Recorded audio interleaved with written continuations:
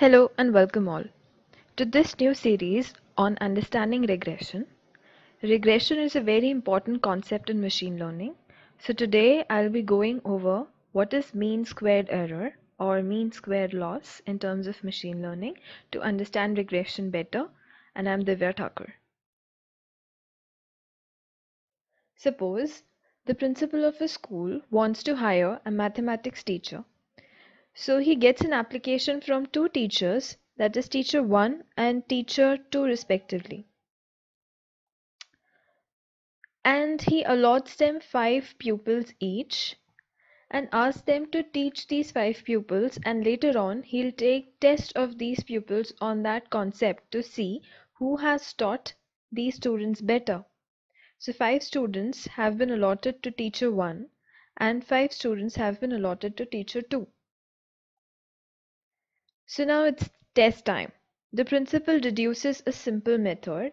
That is, what he'll do is, he'll take the average or mean of the marks that those five pupils are getting, which means that he'll add the marks of each student, that is student A, B, C, D and E, and divide it by number of students, which is 5. Then he'll see whose mean or whose average is more and he'll hire that respective teacher. Now it's test time. So teacher 1 has the following result for the 5 students that she has taught and teacher 2 is having the following results for the students that she taught. So now when principal sum these marks up, he noticed that the total is 70 and so the mean of both the teachers is coming out to be 14 and he is baffled by this result. Now what to do? How to hire? So the ever smiling principal comes up with another solution, which is taking out the mean squared error or residuals of all these marks that the pupils have scored. So for teacher 1, these are the students that were allotted to her and these are their marks. So what the principal did is he drew a number line and plotted the mean marks and also the marks scored by individual pupils. So this is the 9 mark that C pupil scored. These are the 12, 13, 17, 19 marks that each pupil scored denoted by a, a red dot. And he also plotted the mean value on the number line. Now he calculated the distance of each of these pupils from this mean value that is 19 minus 14 the marks that these that this pupil scored minus the mean marks. So this is the distance between the actual value and the observed the deduced value which is 14 so 19 minus 14 is 5 17 minus 14 is 3 9 minus 14 is minus 5 13 minus 14 is minus 1 12 minus 14 is minus 2 so again when he summed these residuals, he again saw that these residuals have a property of cancelling each other out and the sum is 0 which is uh, 5 plus 3 8 and minus 5 minus 1 minus 2 are forming minus 8 so 8 minus 8 becomes 0 so next step what he did is he took the squared of these errors and then took an average or took a mean of these squared errors. So 5 square plus 3 square plus minus 5 whole square plus minus 1 whole square plus minus 2 whole square is giving me the sum 64. Then he took a mean of these mean that is he took mean squared error which is coming out to be 12.4 for teacher number 1. Now the principal repeated the same steps for teacher number 2. So he again drew a number line, plotted the marks of each of the pupils, also plotted this mean value with a dotted line and then he took the residuals which is 14 minus 14, 15 minus 14, 16 minus 14 and so on.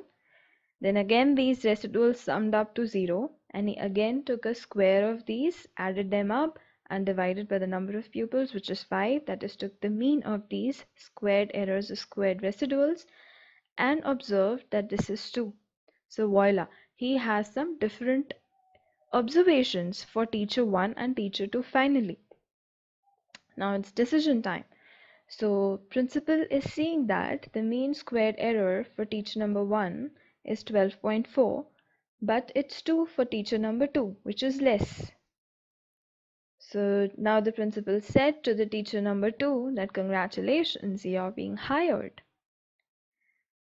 So what made the difference? It means that less your MSE is, more efficient you are or more efficient your model is because your model is centered around the observed values is not varying that much.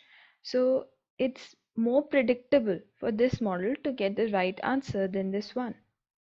So it can be that these students who scored 19 and 17 are going to some coaching center while these three students didn't get that concept that teacher 1 taught them that crisply. But all these five students here near about got the concept that teacher 2 taught them. So this is why the principal hired the teacher number 2. So I hope you understood what mean squared error is and how it helps to evaluate a model. So let's code it using scikit-learn and NumPy. This is the univariate analysis to calculate mean squared loss. That is, we are having only one variable, which is marks for each of the student. And then we are predicting, we are forming, uh, we are predicting the mean squared loss. So for teacher one, this is the table of students with marks. And this is the number nine that the principal had plotted. So using NumPy, I have formed a list of the given values which is 19, 17, 9, 13, 12, the marks of the pupils. So I've formed a list of that. So this means that I've taken the original values and formed a list. Now I see that the calculated value is 14. Because NumPy uh, supports broadcasting, it will do what? It will take this number 14 and form a list out of it. That is 14, comma 14, comma 14, five times. And now uh, we are calculating the mean squared error. So let me write it for you over here. So what we are doing, because we have are using the alias np for numpy, so I'm doing what? I'm subtracting. Remember we were subtracting and getting the residuals. So I'm subtracting the y true from this y pred. So both will form this kind of a list and each value will get subtracted with 14. Now I have to square square all of these respective values that I'm getting and then add them. So I'll just do np dot square square these values and now I have to take a mean of these values. Now I'll be printing my MSE to see if it matches what we had just reduced so I see something over here. Okay so I'm having a typo. It's subtract and let's run the cell. And yes we are indeed getting 12.8 as our answer. So how can the same thing without writing all of this logic be done using scikit-learn so scikit-learn has a sub module known as metrics and in these metrics for evaluating our model we are having mean squared error. So from scikit-learn that is sklearn.metrics I have imported this mean squared error directly and again I have declared the true values in a list format and the predicted value also in a list format. So scikit-learn doesn't support broadcasting. So keep in mind you have to explicitly form a list of these predicted values that is 14 and match it with the same shape of the list above. And simply you have to declare a variable MSE and use this mean squared error and in brackets because this is a function over here use y true comma ypred you don't have to write all of this logic over here. So if I run this cell it's giving me 12.8 again. So you can repeat this step for teacher 2 again uh, compute it by using NumPy. And then again with scikit-learn to see yes this is 2 indeed. So this is all. I hope you enjoyed watching the video if you did please give it a like there and subscribe to my channel because i'll be coming up more with these kind of videos on regression and on machine learning. So thanks for watching